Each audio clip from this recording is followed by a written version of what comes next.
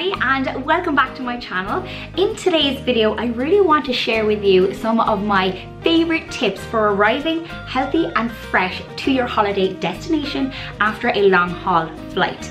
So if you've been following my social media recently, you know that myself and Danny have just come back from a holiday to Singapore and to Sydney, Australia. And believe me, those flights are insane. But over time, we've gotten really, really good at mastering the long haul flight, making sure we arrive fresh and healthy and ready to take on our holiday on that very first day. If you have any tips of your own for surviving a long haul flight, please don't forget to leave them in the comment section below so we can all learn together to make those long haul flights that bit easier.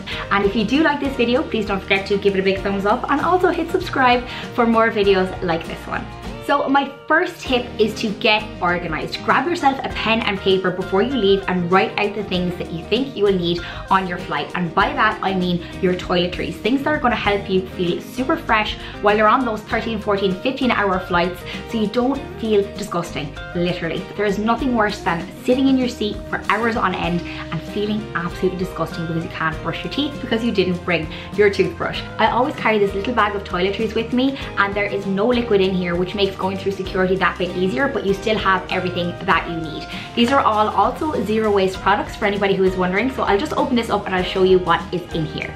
So in my little baggie, I always keep my bamboo toothbrush and some Lush Toothy Tabs. Soap, this one is Fresh Pharmacy from Lush. I have obviously used it on my holidays, but it stood the test of time. This is packed with chamomile, so it's really calming on the skin and it also has moisturizing properties. So when that plane air conditioning is stripping your face of all the moisture, that just helps to lock some of it in. And alongside my soap, I will always take a face cloth, my Tevra floss, which is a zero waste floss, my lip balm, retainers, and as somebody who is prone to cold sores, I don't like to travel without some Compeed cold sore patches. Also really handy to have. I like to have my eye mask. They are not provided on all long haul flights. I like to use my own because it is reusable and avoids that plastic waste of opening up a new eye mask just to leave it on the plane. I would also think about what kind of entertainment you like. If you're somebody who likes to listen to music, then make sure you have your headphones and you have your music downloaded.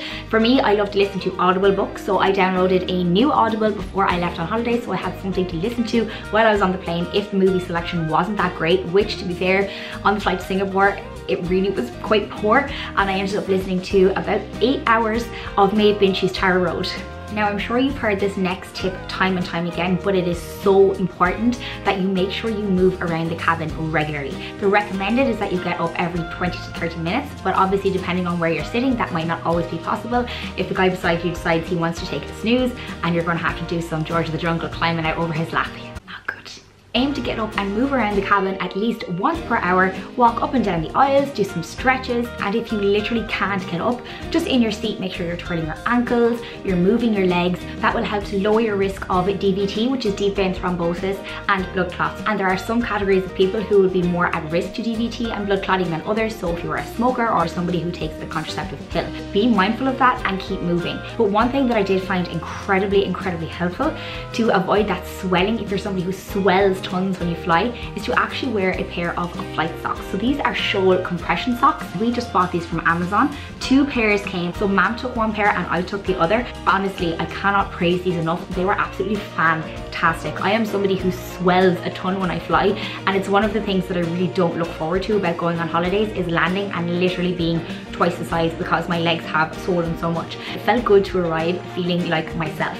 So these are clinically proven to help prevent deep vein thrombosis DVT, help prevent swollen ankles and tired aching legs, which again from sitting down so long you could be at risk of. And to give yourself the best chance of being able to move around the cabin, try and reserve an aisle seat on check-in, which will mean that you can get up and down a ton easier than you would if you were stuck beside the window. And also, if you are a couple traveling together, I would advise reserving the middle seat and the aisle seat because it means that somebody is less likely to actually reserve the seat inside. You get extra space to move your legs and you're also less likely to be disturbed if you do want to catch a couple of Z's. My next couple of tips kind of run into each other, all in the sense of making sure you stay hydrated. When you are on an airplane, the air in the cabin actually comes from outside the plane and there is very little moisture in that air. And that combined with the cabin pressure means that you are at risk of becoming dehydrated very, very fast. So the recommendations go that you should drink as much water as you possibly can before the flight, bring your own reusable bottle, which I always advocate anyway,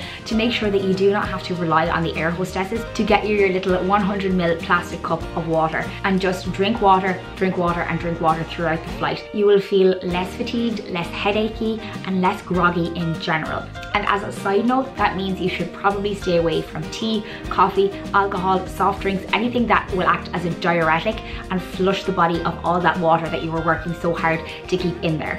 It can all feel a bit counterintuitive because the alcohol on long haul and international flights tends to be free. Luckily, I'm not a big drinker, so it's very easy for me to say no to alcohol. But for some people, I know that might be a bit like, oh, but on holidays, I want to have a drink. Yes, you do, but you also want to arrive feeling fresh and ready. Also in your larger carry-on, I would make sure you pack a change of clothes so you can change halfway through the flight. Even a change of underwear and a change of t-shirt will make you feel more fresh and that will also be a lifesaver in the hopefully really, really unlikely event that they actually lose your cases at the airport, which I know happens to people all the time. My next tip for surviving your long haul flight is to try and avoid sodium. This goes along with making sure you stay hydrated and avoiding diuretics. Sodium is going to mean you retain water and you arrive fluffier than you would anyway. And the ways you can avoid sodium is by not accepting the free pretzels that the air hostess will give out at the start of a flight, by making clever choices when it comes to your plane food. I know some people are really picky eaters and they don't touch the plane food at all. I actually really love any kind of food. Like I just love food. So I eat whatever's put in front of me if I'm not prepared.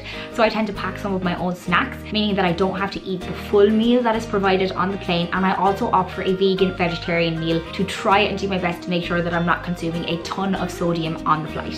Obviously, as somebody who's incredibly into fitness and zero wasting, that means that I have control over what I'm eating and also how much plastic that I'm consuming while on a long haul flight. My next tip almost goes without saying for me, but I know a lot of people like to travel really styled up and really dolled up. My advice would be to not wear any makeup at all and just go barefaced with your moisturizer. It would make it a ton easier to allow your skin to breathe. Also makes less work for you throughout the flight if you don't have to remove your makeup, reapply you can literally just freshen up before bed instead of having to remove your whole face of makeup. And also I would avoid wearing clothing like jeans or anything that's tight that's going to cause you discomfort if you're on a 13, 14 hour flight. That's the last you want. So I always tend to travel in a hoodie and a pair of leggings, also some loose fitting runners or a pair of flip flops.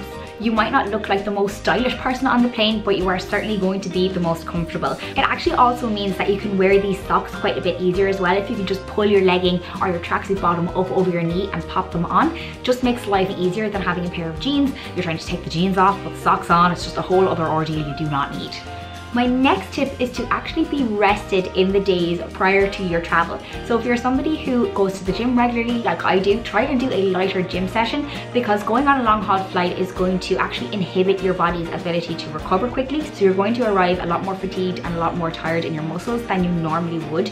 And you also don't want to get on a long haul flight absolutely wrecked and knackered. You kind of do want to be rested before you even get on board to give yourself the best chance of recovery and feeling good throughout that flight. On days before I do a long flight, I will tend to do an extra bit of cardio, walking and running in the morning, especially if I know that I'm going to be traveling and sitting down for a long period of time and I may not get my steps in for that day. It feels really good to know that you've got the blood pumping a little bit and you don't feel as slobby and as horrible as you would if you just sat on that flight for 17 hours straight. So that brings me to the end of this video, everybody. I really hope you enjoyed it and there's a couple of things in here that might be helpful if you're about to head off and jet off on your travels. I'm very jealous. I hope you have a fantastic time. If you did like this video and you found it helpful, please don't forget to give it a big thumbs up and also please don't forget to hit subscribe and I look forward to seeing you back on my channel again.